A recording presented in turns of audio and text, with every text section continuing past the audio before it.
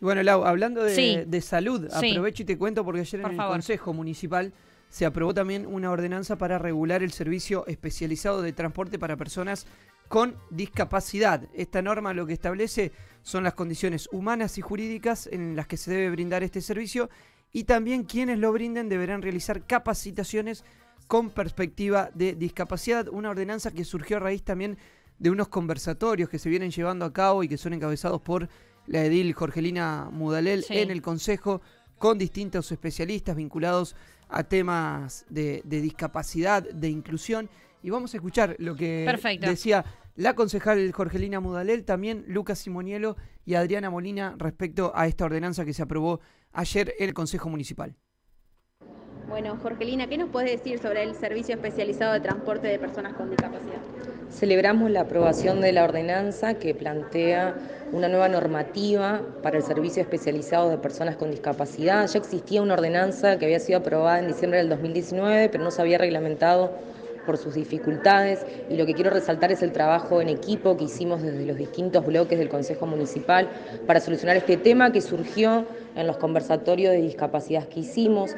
Es un servicio que permite que personas con discapacidad puedan trasladarse en la ciudad de Santa Fe y esto también lo amplían para el área metropolitana, eso antes no estaba contemplado. También se resolvieron algunas cuestiones que tenían que ver con el seguro, con el nomenclador, la posibilidad de, de- de poder identificar otros lugares para las que las personas con discapacidad puedan trasladarse. Y bueno, es una herramienta que suma para la inclusión, para la integración, que la celebramos y esperamos seguir avanzando con otros temas que, que puedan representar también la posibilidad de que Santa Fe sea una verdadera ciudad inclusiva. Bueno, Lucas, ¿qué nos puede decir sobre el servicio especializado de transporte de personas con discapacidad?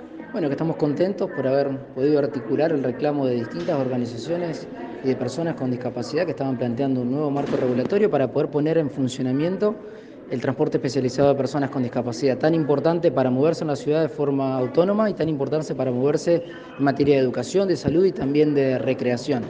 Así que en articulación tanto con Jorgelina Mudalel como con la concejala eh, Molina hemos podido llegar a, a un nuevo texto que hoy pone en condiciones a la ciudad para que rápidamente pueda ser reglamentado y contemos con este medio de movilidad acorde a la realidad que necesitamos actuar, actual eh, para que, como te decía, las personas con discapacidad puedan contar con un transporte de forma segura para lo que tiene que ver con educación, salud y recreación. Chuchi, ¿qué nos puede decir sobre el servicio especializado de transporte de personas con discapacidad? Bueno, en primer lugar que esta es una ordenanza muy requerida, muy reclamada por las organizaciones de las personas con discapacidad.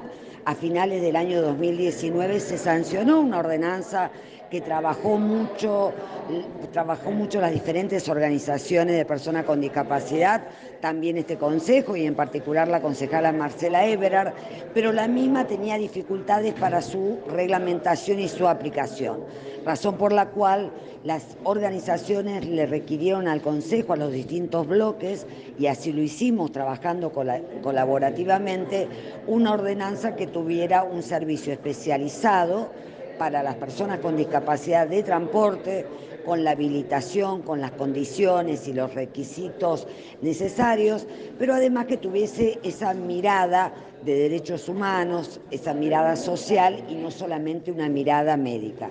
Estamos trabajando en el Consejo para una ciudad que sea cada vez más inclusiva y esto siempre lo hacemos todos los bloques como en el día de hoy.